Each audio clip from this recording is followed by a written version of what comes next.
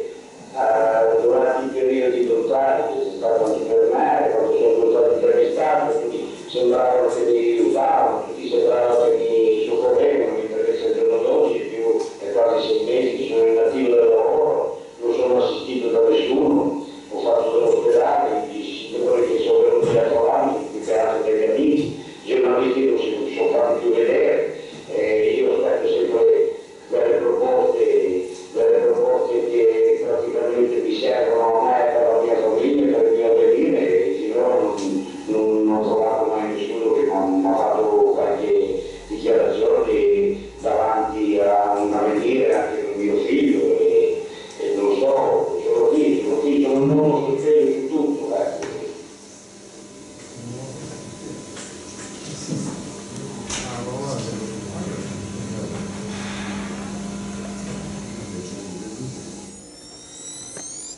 Possiamo iniziare. Il filmato dura 43 minuti, abbiamo scelto solo lo spezzone, lo spezzone che arriva da Piazza Fontana. Accendi le luci. Questo è il filmato di Pierpaolo Pasolini.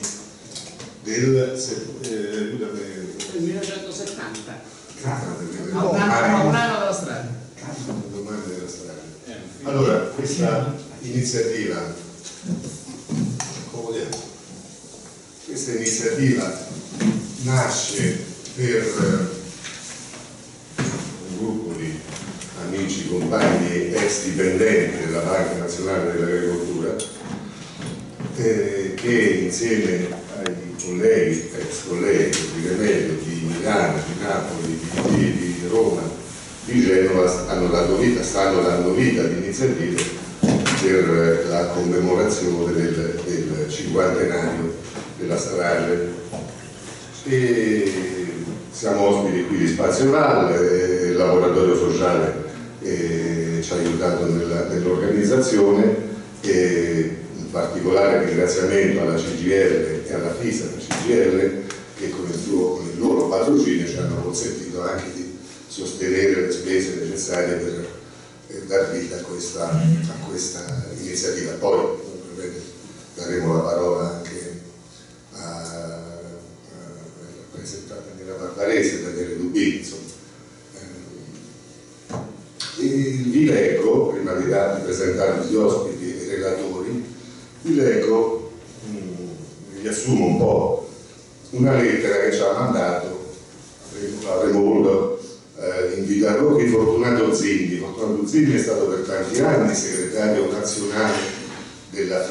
CGR, della CGR della, della categoria di bancari,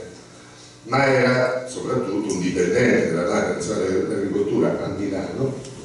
e sopravvissuto alla strage. Nel libro poi gli autori ce lo, ce lo spiegheranno meglio, si racconteranno la sua eh, testimonianza drammatica di quella, di quella, strage e ci ha scritto queste, queste,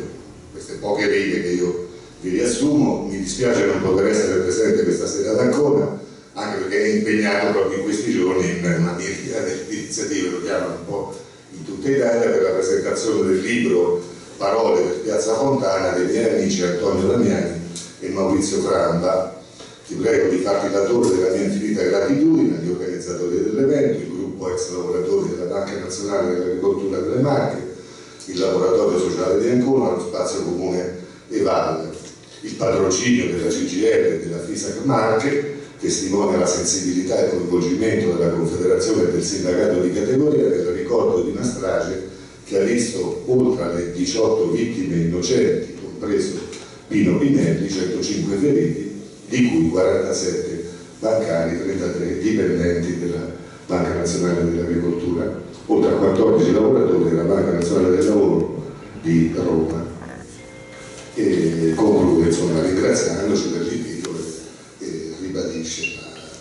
eh, l'impegno, diciamo, anche il suo impegno militare in questi giorni proprio per questa ragione. Allora vi presento eh, gli ospiti di questa sera, di questo incontro, Antonio Damiani e Maurizio Framba, sono gli autori del libro che trovate eh, all'ingresso, sono anche loro ex bancari, non banca dell'agricoltura, ma comunque sono stati, hanno segnato gran parte della loro vita di bancari come eh, dell'impegno della, della FISA, del sindacato della CGL, e il dottor Vito D'Ambrosio, ex magistrato, e, ma qui anche in una veste, nella sua particolare veste di procuratore eh, scusa, della, della, della, pubblica accusa della Corte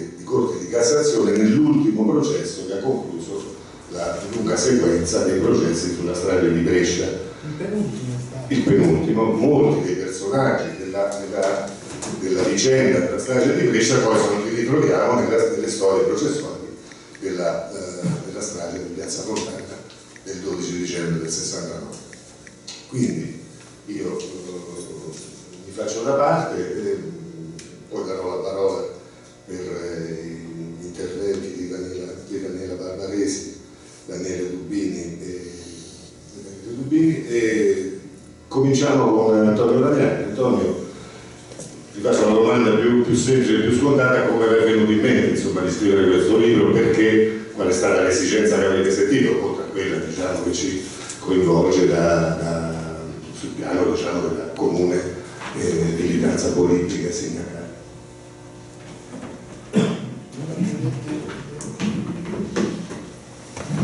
Sì, diciamo una, una motivazione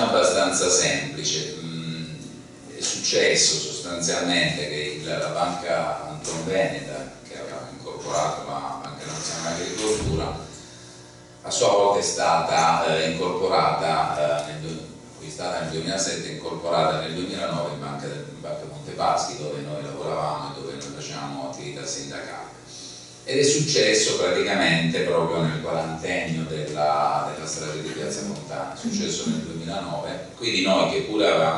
Partecipato negli anni alle iniziative del sindacato della DNA, ma anche autonomamente, perché soprattutto chi, chi ha lavorato a Milano, per chi ha lavorato a Milano, l'appuntamento del 12 dicembre è uno di quelli che non, non, si possono mancare nelle varie articolazioni che ci sono durante, durante la giornata. Allora ci siamo posti il problema di come eh, dare un risalto particolare a questa, essendo noi a questo punto lavoratori della banca che aveva eh, la filiale di Piazza Fontana, come poter ricordare eh, l'avvenimento. E di questo parla l'ultimo capitolo del libro, eh, noi decidemmo di organizzare una rappresentazione teatrale che si chiamava Mandorle, Mandorle Amare, eh, che un nostro collega di Catania che ha un teatro a Catania che si chiama il Teatro del Canovaccio, appunto organizzato, organizzato in Camera del Lavoro a, a Milano, la presenza di Pizzinato, presenza di Fortunato, che parlava appunto della, della, strage, della strage di Piazza Fontana. E quindi c'è, eh, chi, chi, chi, lo vedrà, insomma, il libro è, è, costituito da una serie di interviste, infatti l'abbiamo, l'abbiamo definito un coro, un tributo, un corteo, e infatti c'è l'intervista a Saro e poi c'è l'intervista a Francesco del Casino, che per chi, per chi non lo conosce quello che sostanzialmente ha fatto quasi tutti i murales di i murales più belli, eh, Pasolini, Brecht, eh, tutti quelli che si conoscono Orgoso, e lui ci ha fatto il regalo di, una, di, di, di fargli regalarci una sua opera per la locandina eh, di, quella, di quell'avvenimento. E quindi questa era l'idea iniziale che poi alla fine è andata a finire alla fine del libro perché eh, la vicenda di Piazza Fontana poi ci ha, ci ha preso la mano. Nella prima, nella, nella prima parte invece noi si dice quello che la banca ha fatto per ricordare anche lì dal 40 anniversario in poi al, al centro della filiale di Piazza Fontana c'è un bancone memoriale eh, fatto da un architetto e da uno scultore eh, senese le, le scolaresche nei giorni tutto l'anno soprattutto nei giorni, dell'anniversario, eh, si presentano nelle filiali, fanno delle visite, quindi è diventato anche un, elemento importante di, eh, di, di, di memoria, di memoria e di, riflessione. All'interno di questa cornice, cioè le cose che noi abbiamo fatto come sindacato, come coordinamento del Monte dei Paschi, in continuità con quello della Banca Nazionale dell'Agricoltura, poi ci siamo posti il problema di, eh, di spiegare cosa era successo prima, durante e dopo Piazza Fontana, che è una fatica immane, senza nessuno, abbiamo anche scritto nell'introduzione, avere l'ambizione di scrivere un libro di storia, perché non siamo storici, e anche perché quest'anno sono usciti tantissimi libri, eh, quello della Tobagi, quello di Morando, quello di Idealio, quello, tantissimi, che sono tutti libri assolutamente eh, da leggere assolutamente ricchi che fanno. Noi abbiamo cercato di fare un, un libro, anche nella, eh, nel, nel, come si presenta, molto, molto snello, per parlare a chi magari di Piazza Fontana non sa proprio tutto o quasi non sa niente. Ci sono anche delle persone che su Piazza Fontana sanno veramente, eh, sanno veramente poco. Io che pensavo di essermene occupato a fondo, andando a rivedere, mi sono accorto di non ricordarmi tante cose e mi ha stupito anche la, eh, la mole di, di, materiale che è uscito, poi, è, è uscito, negli anni. Quindi ci siamo rivolti nella costruzione, della, nella costruzione del volume eh, a persone, quindi c'è, inizia il libro subito dopo la parte introduttiva con la, eh, con la, con la testimonianza di Fortunato Zinni che vi assicuro è, una, eh, è un pugno nello stomaco, cioè di una eh, sembra di essere lì e lui è quello che dice, io ogni volta che ne parlo, per me non sono passati 50 anni, è passato niente, è passato qualche minuto, qualche ora, e veramente si sente, si sente quasi proprio quello che è successo, quindi la testimonianza di Fortunato lo apre nella maniera migliore. Poi abbiamo chiesto una mano alle persone che se ne sono occupate a livello professionale, quindi c'è un'intervista a Paolo Murando, che quest'anno ha pubblicato un libro molto interessante e molto bello che si chiama Prima di Piazza Fontana la prova generale e lui dimostra, andando a vedersi le carte processuali, come sostanzialmente gli attentati dell'aprile e dell'agosto del 69 siano stati una doppia prova generale, una prova generale tecnica per chi le bombe le ha messe ed una prova generale della criminalizzazione degli anarchici, perché è lì che parte il processo di criminalizzazione degli anarchici e poi si vedrà sono assolutamente non, non coinvolti né negli attentati dell'aprile né in quelli di agosto né soprattutto nella strage di Piazza Fontana. Poi abbiamo chiesto a Saverio Ferrari, eh, un dirigente politico di, di Avanguardia Operaia e Democrazia Proletaria, di ricostruire il, la fase processuale e di assicuro è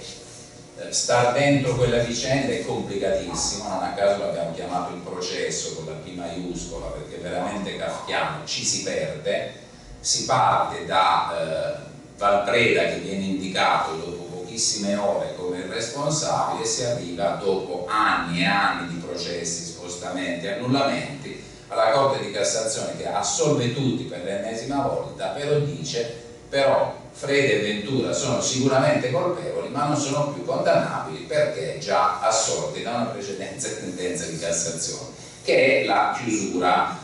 eh, diciamo perfetta da un certo punto di vista di questa, di questa storia. Abbiamo anche chiesto, ci siamo anche posti il problema di dare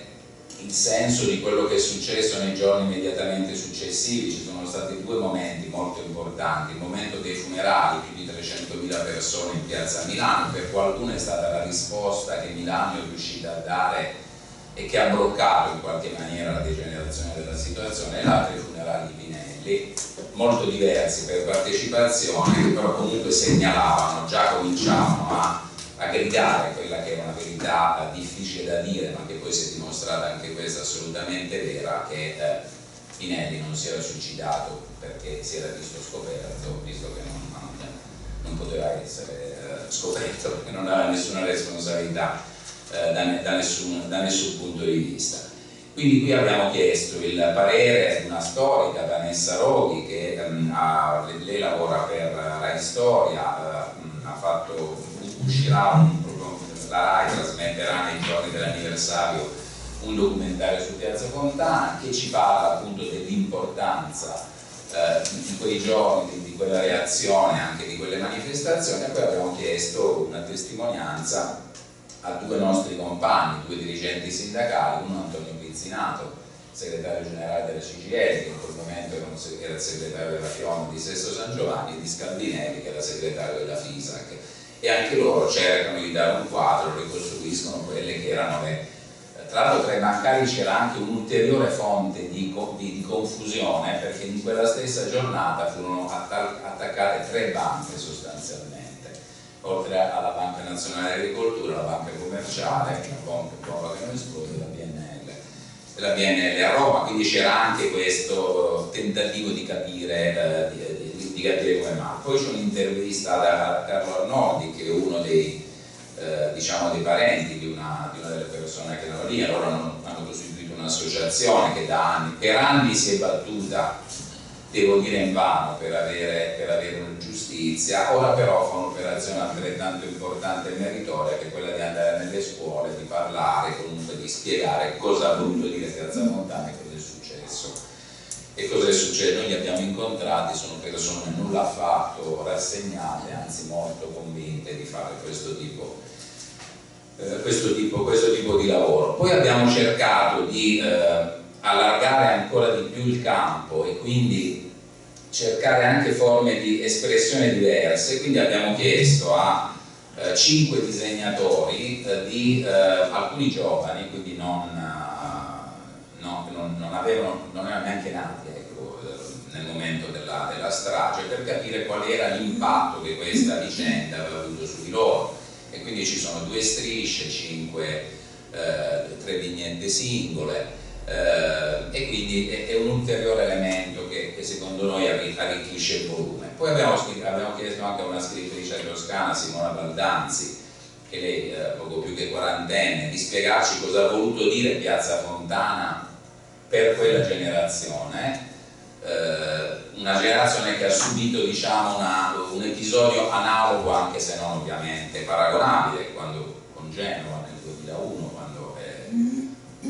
diciamo che si è messa in moto una macchina di provocazione e strumentalizzazione che eh, imponente, anche se ripeto non paragonabile a quella probabilmente del 69, lei ha scritto appunto un racconto nel quale tra l'altro parte da un altro degli episodi non chiariti che la Moody Prince, persino quella che sembrava un incidente normale, alla fine si è dimostrato che probabilmente tanto normale non c'era perché c'è qualcosa che, che sfugge eh, alle, alle ricostruzioni.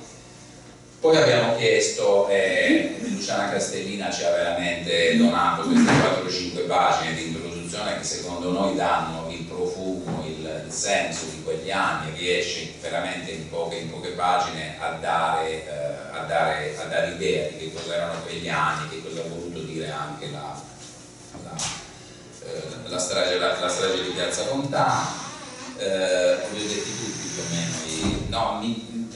sono particolarmente, eh, perché per noi è veramente un libro corale questo, ha, ha, un senso in questo, in essere corale eh, tutti ci hanno messo, hanno messo, un contributo, la copertina è frutto del, di un, è un disegno di un nostro collega attualmente in pensione che adesso disegna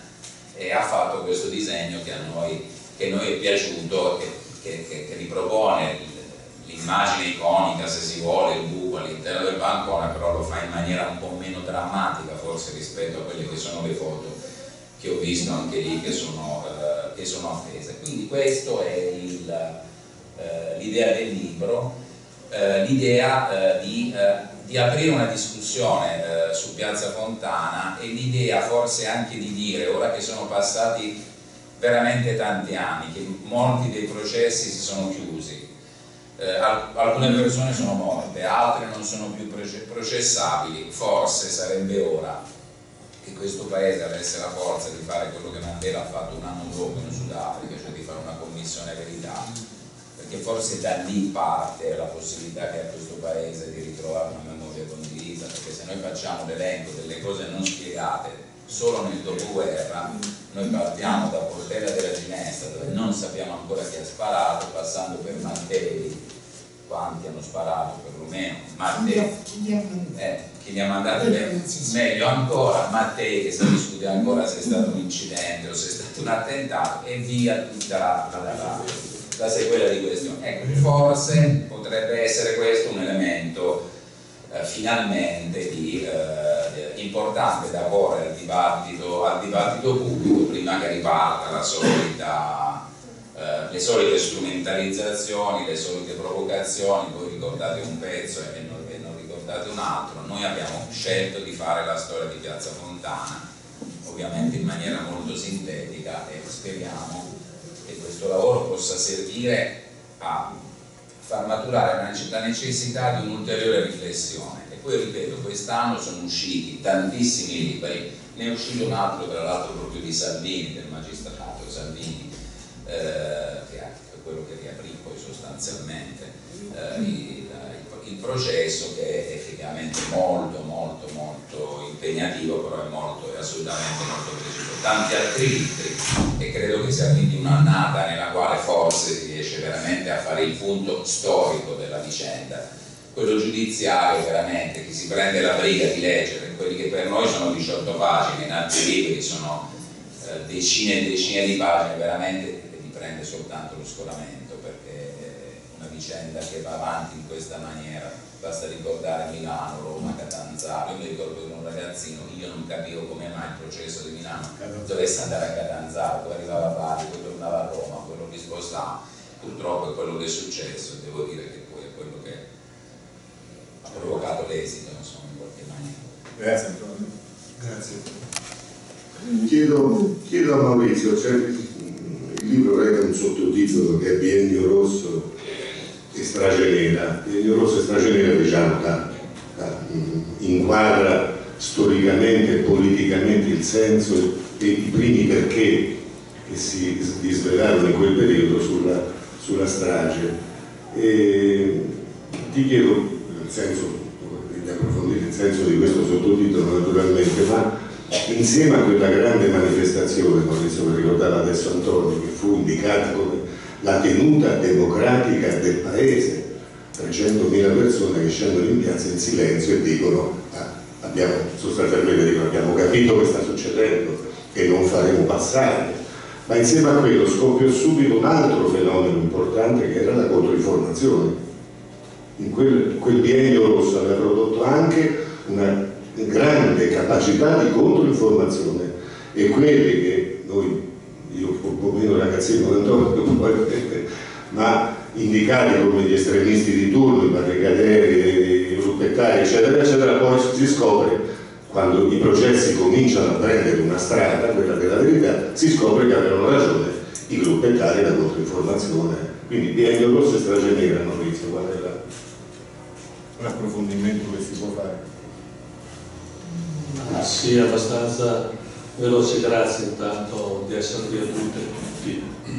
Sì, noi abbiamo fatto queste otto parole per fare il titolo, ma vabbè, parole per Piazza Fontana con tutto il senso del significato delle parole, il termine parole per noi ha un valore estremamente importante perché vuol dire parlare, scrivere, raccontare, mai come in questo momento su questo argomento serve raccontare. Poi ci sono altre quattro parole,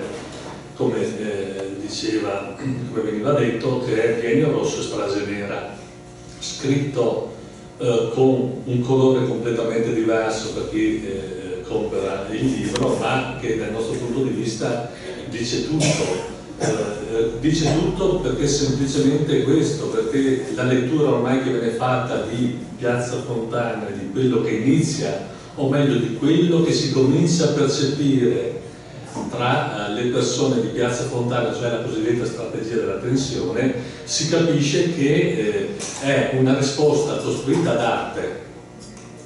Piazza, Piazza Fontana e non solo, per rispondere a quello che dicevi tu, e cioè tutta quella serie di movimenti che si erano creati a partire del 1968, prima del movimento studentesco e poi soprattutto nella prima parte del 69 del movimento operaio, eh, che porta ad avere in questo paese, non soltanto in questo paese, in tutta l'Europa occidentale, ma anche in altri eh, spazi del nostro pianeta, ad avere una serie di rivendicazioni per quanto riguarda i diritti a tutto campo, i diritti quindi del mondo della scuola, del mondo del lavoro, degli uomini, delle donne e così via. Eh, perché strategia della tensione? Eh, per il semplice motivo che rispetto a questa partita che comincia a creare, quindi quella del eh, biennio rosso, il secondo biennio rosso, perché il primo biennio, biennio rosso è quello dell'occupazione delle fabbriche degli anni 20, per chi vuole approfondire soprattutto eh, per i più giovani, la risposta è una risposta di paura, è una risposta di paura che non viene come qualcuno poteva pensare eh, fatta in maniera così stravagante o istintiva, è una risposta costruita. È una risposta costruita anche se ci vuole tempo per, far, per arrivare a capire che questa è una risposta costruita, cioè la risposta al biennio rosso noi l'abbiamo identificata col, sottotitolo di strage nera, perché è una cosa organizzata, organizzata guardate non a livello nazionale ma ormai è certo a livello internazionale, che parte da lontano, parte addirittura dal 1947, cioè dalla guerra fredda se vogliamo eh, eh, essere precisi. E anche qui noi diamo soltanto degli input all'interno all'interno del lavoro che abbiamo fatto, che ha fatto Antonio insieme, insieme, a me, ci sono invece testi che approfondiscono, eh, lo stesso Salvini, giudice, eh, ultimi, in molte interviste nel suo ultimo libro evidenzia questo passaggio, che è quella della democrazia incompiuta all'interno del nostro paese. L'Italia, dopo la guerra, è ai confini tra Occidente e paesi dell'Est ed è un paese, forse eh, per molti di voi guardo le facce, anni 60-70, la cosiddetta democrazia incompiuta all'interno del nostro paese, cioè l'impossibilità dell'alternanza, come si dice adesso all'interno del nostro paese, e questa operazione della strage nera, che non riguarda soltanto Piazza Fontana, Piazza Fontana è la fine di un percorso e l'inizio di un altro che andrà avanti con Brescia fino poi eh, a Bologna, eh, che è un disegno ben preciso, è un disegno che ha legami a livello internazionale, che ha bracci, delle braccia operative che sono all'avanguardia nazionale di Stefano Chiari e ordine nuovo, ordine nuovo di Rauti con un pezzo significativo della regione dove eh, io sono nato e vivo, cioè in Veneto, per capirci parla Fred Ventura e altri, non soltanto quelli, e eh, come potremmo dire una novità rispetto a tutto quello che era stato fatto nei mesi degli anni precedenti che va eh, sotto il nome di stragismo. Si comincia con Piazza Fontana, ma con delle prove precedenti non riuscite, vedi il 25 aprile, a fare delle operazioni che devono dare risposte con delle stragi rispetto a tutto quello che sta accadendo nella società. Poi eh, ci sono varie interpretazioni su questo, ma una cosa è certa, bloccare l'avanzata dei movimenti collettivi e anche l'avanzata della sinistra, perché di conseguenza poi nelle elezioni eh, che, c'erano state, state in quel periodo c'era stato un avanzamento di quelli che erano i risultati dell'elezione dei partiti, dei partiti di sinistra. Eh, è un insieme di elementi che eh, potremmo dire, dovrebbero far riflettere, come diceva Antonio, finalmente anche alla luce di quello che poi è successo nell'89, cioè la caduta del muro di Berlino, quindi diciamo campo libero, anche se non so se quanto sia libero questo campo, insomma, però diciamo campo libero, a fare una riflessione reale su quello che è successo nel nostro paese. Perché guardate, finisco, ci mettiamo in ordine quello che è successo in quella giornata, ma non solo in quella giornata, ma quello che è successo in quell'anno, siamo andati a recuperare testi anche, nel 1969 è l'anno delle bombe, dal 3 gennaio al 12 dicembre se ne conteranno 145, una ogni tre giorni. Una bomba ogni tre giorni. Adesso scusate, noi veniamo, vabbè, siamo dei ex lavoratori dipendenti pensionati, veniamo dal mondo del lavoro, il mondo del lavoro pone molta attenzione a quelle che sono le stragi dei morti sul lavoro, ma pensate una bomba nel nostro paese ogni tre giorni. E guardate con l'operazione, come dicevo prima, dello stragismo agganciate, finisco, a, finisco al secondo aspetto.